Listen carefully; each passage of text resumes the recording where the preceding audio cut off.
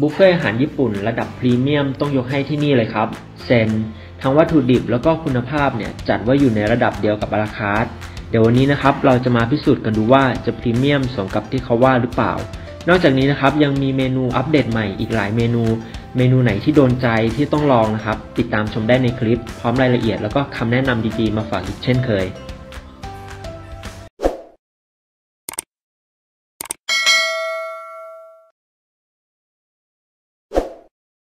ครั้งนี้เราเลือกมาที่ร้านอาหารญี่ปุ่น ZEN ชั้น 5 Central Festival พัทยาบีชของวันปกตินะครับ คนไม่ค่อยเยอะวันที่ผมมาก็เป็นช่วงเวลาประมาณ 11โมงครึ่ง จริง ๆ แล้วนะครับ ที่ ZEN เนี่ยมีหลายสาขา แต่บางสาขาเนี่ยอาจจะไม่เข้าร่วมรายการบุฟเฟ่นะครับ ยังไงเราสามารถตรวจสอบได้ใน Facebook ของ ZEN นะครับ ในส่วนของบุฟเฟ่ Grand Premium นะครับ ราคาเนี่ยเริ่มต้นตั้งแต่ 599 บวกนะครับ 799 บวก แล้วก็ 1,199 บวกนะครับ ราคาเนี้ยรวมเครื่องดื่ม refill ไว้แล้วนะครับ แต่ทั้งสามราคานี้นะครับยังไม่ได้รวม service charge อีก 10%นะครับ ระยะเวลาในการรับประทานก็ 1 ชั่วโมง 45 นาที แต่ในวันที่ผมไปกินนะครับ ทางร้านเขาบอกว่า late ได้นะครับ ไม่เกิน 2 ชั่วโมงก็เหมือนเขาเผื่อเวลาให้เราอีก 15 นาทีนะครับ โดยจะจับเวลาตั้งแต่อาหารจานแรกที่ลงเสิร์ฟครับ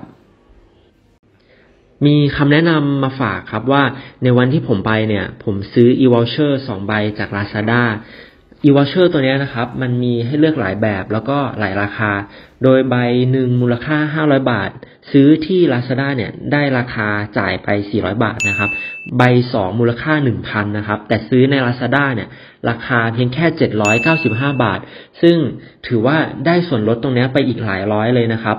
โดย Lazada กับเซนเนี่ยเขาจะมีการดีลกันนะครับ แล้วก็มีส่วนลดเป็น e-voucher เนี่ยออกมาอยู่เรื่อยๆ เลยนะครับ ยังไงก็ติดตามนะครับ เข้าไปดูได้ที่ Facebook ของเซนหรือว่าดูใน Lazada ก็ได้ครับ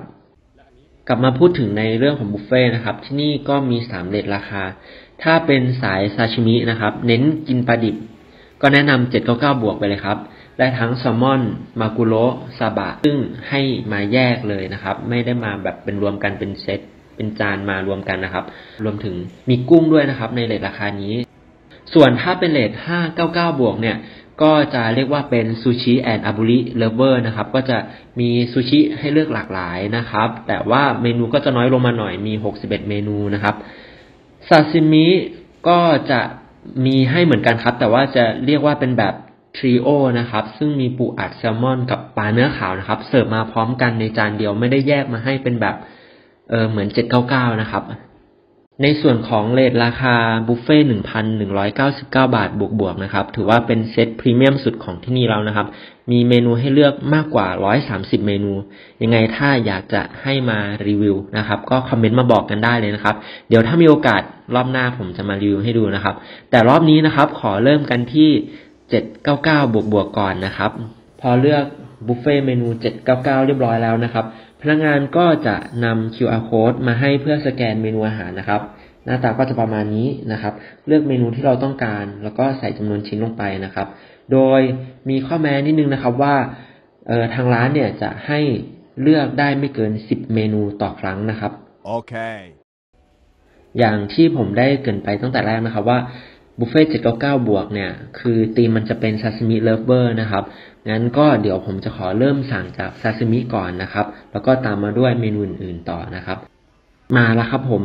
สั่งไป 4 อย่างนะครับ อย่างละ 2 เสิร์ฟมาพร้อมกันเลย มีทั้งทูน่าแซลมอนซาบะดอง แล้วก็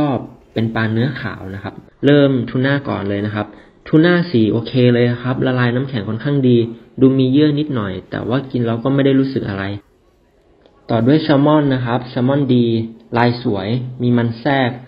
รสชาติได้มาตรฐานครับสบะดองนะครับ ของที่นี่ผมชอบเลย เพราะชิ้นใหญ่นะครับ เนื้อแน่นสบะดองรสชาติจอกไปทางเปรี้ยวนะครับ ไม่เค็มมาก อีกอันนึงนะครับ ตอนแรกเข้าใจว่าเป็นปลาอิซูมิไดนะครับ แต่มาดูในเมนูมันคือ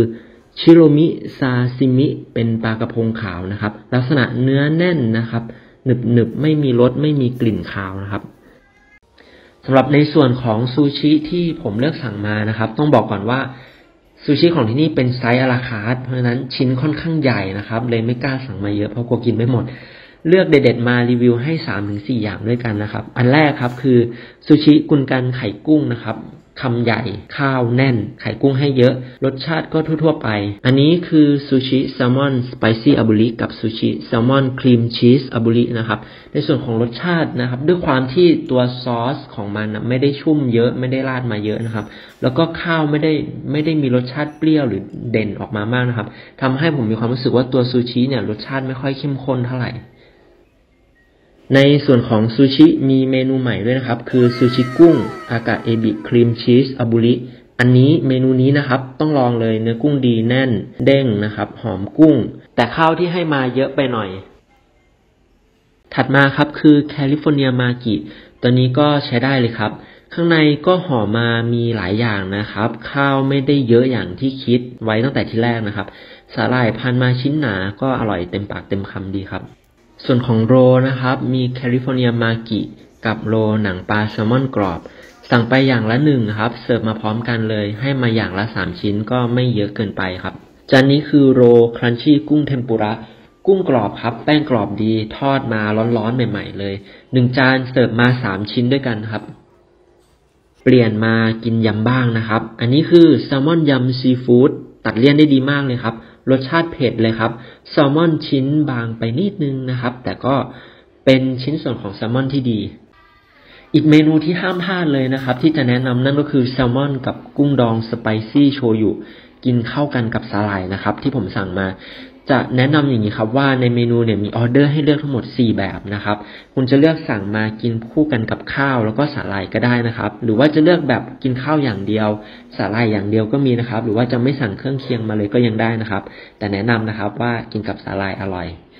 กุ้งเทมปุระก็ได้สั่งมาลองชิมเหมือนกันนะครับ เซตหนึ่งจานหนึ่งที่ได้นะครับ จะมีกุ้งสามตัว กุ้งตัวโตเนื้อแน่น แป้งน้อย อันนี้จัดว่าดีเลยครับ เปลี่ยนมาเป็นของทอดกันดูบ้างนะครับ เลือกสั่งหมูทอดทงคัตสึมากรอบนอกนุ่มใน เนื้อหนาพอสมควรเลยใช้ได้ครับ เกี๊ยวซ่า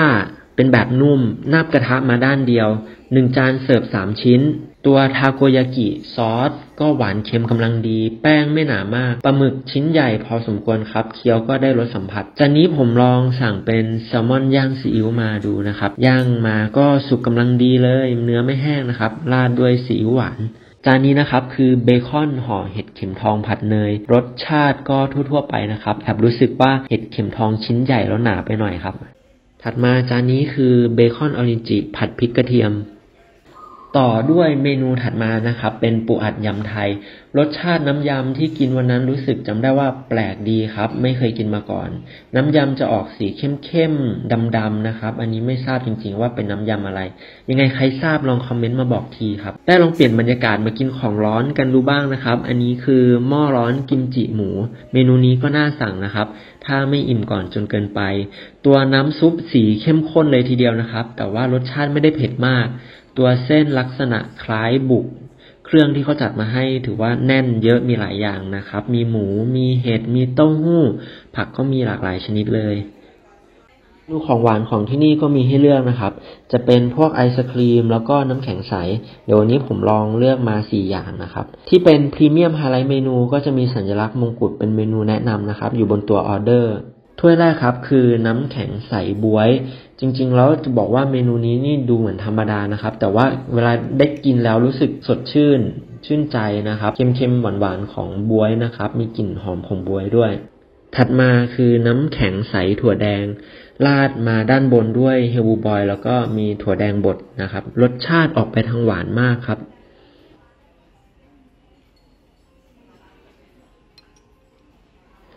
ถ้วยนี้คือไอศครีมวานิลารวมมิตรเสิร์ฟมาพร้อมกับถั่วแดงบดแล้วก็บุก อร่อยเข้ากันมากครับ ตัวบุกเนี่ยยังมีกลิ่นหอมอ่อนๆของกาแฟด้วยนะครับ เข้ากับความหวานของไอติม รสชาติก็เหมือนกับไอศครีมชาเขียวรวมมิตรถ้วยนี้นะครับ ที่เสิร์ฟมาพร้อมกับถั่วแดงแล้วก็บุกเช่นกันสองถ้วยนี้ต้องลองให้ได้นะครับ โอเค ในส่วนของเครื่องดื่มนะครับ จะมีอยู่ประมาณ 5-6 อย่างด้วยกันนะครับ ตามภาพนี้เลย เครื่องดื่มเย็นก็มีนะครับ แล้วก็มีเครื่องดื่มร้อนด้วย ก็จะเป็นชาเขียวร้อน ส่วนเมนูใหม่แนะนำนะครับ คือน้ำองุ่นเคียวโฮ จะมีกลิ่นหอมที่สั่งมาจะมีกลิ่นหอมขององุ่นนะครับ แต่ว่าออกไปทางหวานหน่อย เครื่องดื่มเป็นแบบ refill นะครับ ราคาเนี่ยจะรวมอยู่ในบุฟเฟ่แล้ว